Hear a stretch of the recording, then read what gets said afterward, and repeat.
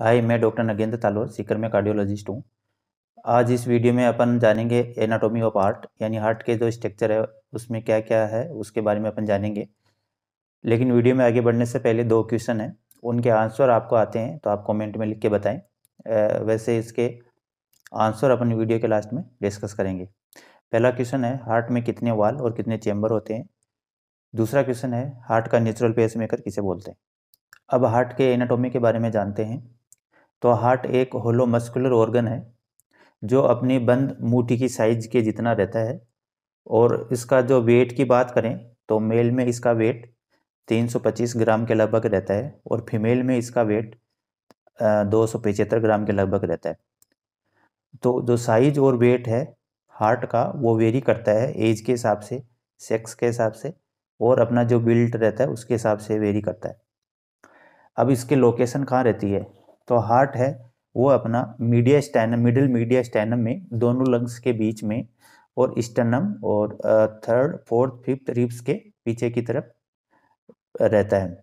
और ये चेस्ट में ये ओब्लिकली प्लेस रहता है, सीधा नहीं रहता है, इसलिए इसका टू थर्ड पार्ट है, वो मिड लाइन के लेफ़्ट की तरफ़ रहता है। और हार्ट का जो अपेक्स है और इसका जो टिप है, वो पॉइंट करता रहता है नीचे की तरफ़। डाउनवर्ड और लेफ्टवर्ड नीचे की तरफ़ वो फेस करता रहता है।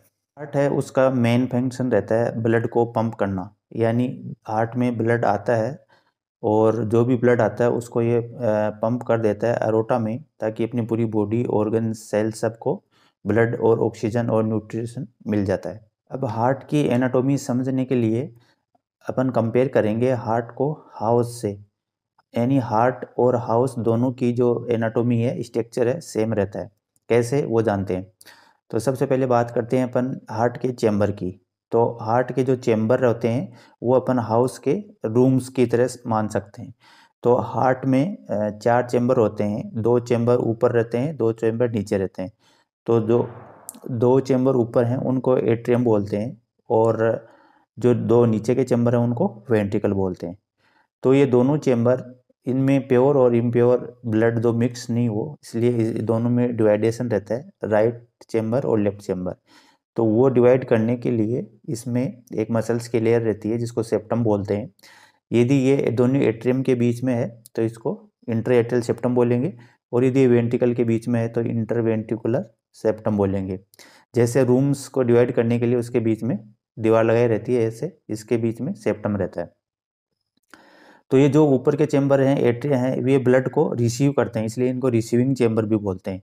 तो हार्ट में ब्लड आएगा इनमें, फिर इनके थ्रू वेंटिकल में जाएगा और वेंटिकल उस ब्लड को पंप आउट कर देते हैं, यानी वहाँ से डिस्चार्ज कर देते हैं तो वो डिस्चार्जिंग चैम्बर होते हैं। दूसरी अपन बात करें वाल्व की, यानी जिस तरह अपने को घर में अंदर घुसने के लिए गेट रहता है, उसी तरह हार्ट में ब्लड को जाने के लिए वहाँ वाल्व रहते हैं।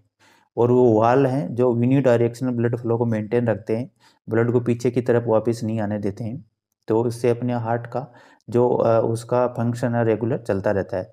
तो हार्ट में चार वाल होते हैं, दो वाल एट्रिया और वेंट्रिकल के बीच में रहते हैं, जिसमें राइट वाले को ट्राइकस्पिड वाल बोलते हैं और लेफ़्ट वाले को माइटल वाल बोलते हैं। ये दोनों वाल जब बंद होते हैं तो हार्ट की जो फैस साउंड आती है, लब वो इनके बंद होने से आती है। और जो दो वाल, दूसरे वाले वाल होते हैं, एक वाल रहता है पल्मोनरी आर्टरी और राइट वेंटिकल के बीच में और एक वाल अरोटिक वाल रहता है जो लेफ़्ट वेंटिकल और अरोटा के बीच में। वो दोनों वाल जब क्लोज होते हैं तो डब साउंड आती है। अब तीसरा बात करते हैं वाल्स की। जैसे घर को जो रूम है, उनके चारों तरफ़ कवरिंग रहती है दीवार की, उसी तरह हार्ट में भी चारों तरफ़ वाल रहती है, जिसको मायोकार्डियम बोलते हैं अपन मसल्स बोलते हैं। और वो जो हार्ट की मसल्स रहती है, उसमें तीन तरह की कवरिंग रहती हैं। जैसे अंदर की जो लेयर रहती है, उसको एंडोकार्डियम बोलते हैं। मिडिल लेयर जो मेन लेयर रहती है, उसको मायोकार्डियम बोलते हैं। और जो बाहर की लेयर रहती है, उसको इपिकार्डियम बोलते हैं। इन तीनों लेयर के ऊपर भी एक पूरा एक कवरिंग रहता है, जिसको पेरिकार्डियम कहते हैं, और वो पेरिकार्डियम हार्ट को प्रोटेक्ट करता है।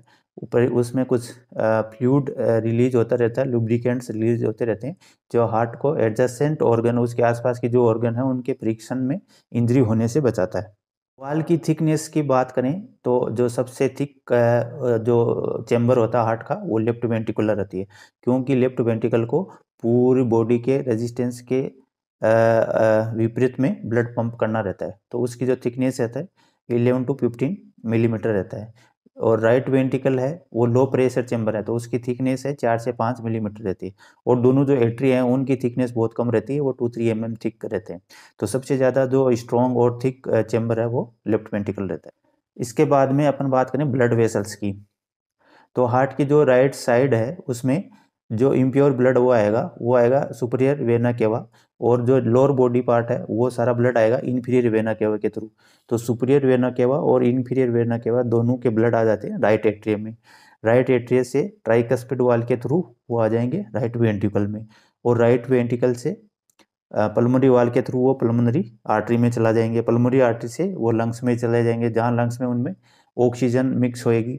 और ऑक्सीजन मिक्स होके जब वो प्योर ब्लड हो जाता है तो वो ब्लड वापस आ जाएगा पल्मोनरी वेन के थ्रू लेफ़्ट एट्रियम में, और लेफ़्ट एट्रियम से माइटल वाल के थ्रू आ जाएगा, लेफ़्ट वेंटिकल में, और लेफ़्ट वेंटिकल से अरोटिक वाल के थ्रू अरोटा में चला जाएगा, और अपने शरीर में पूरी बॉडी को ऑर्गन को, सबको ब्लड ऑक्सीजन और न्यूट्रिशन सप्लाई कर देगा। तो इस तरह जो ब्लड वेसल्स रहती हैं, जो हार्ट को ब्लड लेके आती हैं, उनको वेन बोलते हैं और जो ब्लड हार्ट से बाहर लेके जाती हैं, जैसे उनको आर्टरी बोलते हैं। ब्लड वेसल्स हैं, इनको अपन कंपेयर कर सकते हैं, जैसे अपने घर में पाइपलाइन लगी रहती है, पानी की जो लाइन लगी रहती है, उससे इनको कंपेयर कर सकते हैं।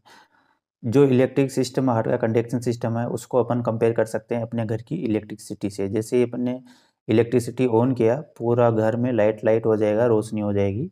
और वैसे ही हार्ट में जैसे ही इलेक्ट्रिक करंट आएगा, यानी जो ऐसे नोड रहता है इनो एट्रियल नोड रहता है, वो राइट एट्रियम में रहता है, वहाँ जैसे ही वो इम्पल्स रिलीज़ करेगा, वो इम्पल्स वहाँ से ऐसे नोड से एट्रियम में कंडक्ट होगी एट्रियम से फिर एवी नोड एवी नोड से हिस बंडल में, हिस बंडल से वो राइट बंडल और लेफ़्ट बंडल में जाएगी और लास्ट में परकेंजे फाइबर में चली जाएगी और फिर परकेंजे फाइबर जो एंडोकार्डियम, हार्ट की जो मसल्स रहती है, उसमें कनेक्टेड रहते हैं और वहाँ से पूरा एंडोकार्डियम अपना कॉन्ट्रैक्शन चालू कर देगा और पूरे हार्ट में कॉन्ट्रैक्शन होने लग जाएँगे।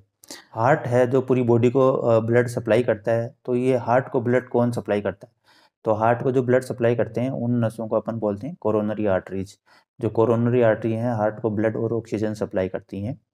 और उन्हीं में यदि ब्लॉक हो जाता है कोरोनरी आर्टरी में ब्लॉक होता है हार्ट को ब्लड सप्लाई बंद हो जाती है तो हार्ट अटैक हो जाता है।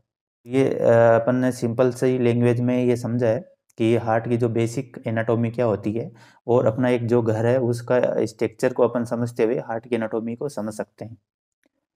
अब जो अपने क्वेश्चन थे उनकी बात करते हैं। तो अपना पहला क्वेश्चन था, हार्ट में कितने चैम्बर और कितने वाल होते हैं? तो हार्ट में चार चैम्बर और चार वाल होते हैं। दूसरा क्वेश्चन था, नेचुरल पेस मेकर क्या है हार्ट का? तो एस ए नोड यानी सैनो एट्रियल नोड है, वो हार्ट का नेचुरल पेस मेकर है, जो 60 से 100 बीट पर मिनट फायर करता है। नेक्स्ट अब अपन डिटेल में पढ़ेंगे जो कंडक्शन सिस्टम है हार्ट का, उसके बारे में डिटेल में जानेंगे नेक्स्ट वीडियो में। धन्यवाद।